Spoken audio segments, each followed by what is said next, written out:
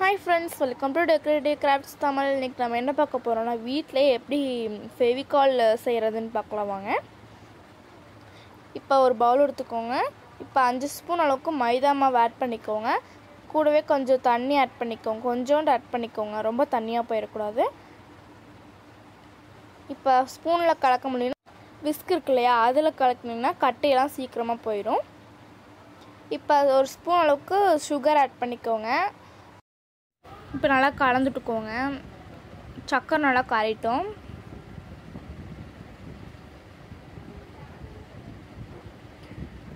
இப்போ பாருங்கள் இந்த கன்சிஸ்டன்சியில் தான் இந்த கம் இருக்கணும்.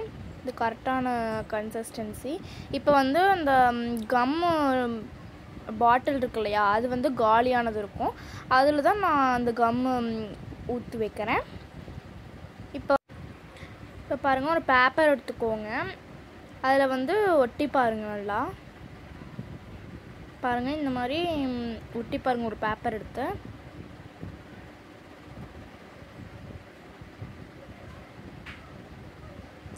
ஸோ இது நல்லா ஒட்டிக்குச்சு.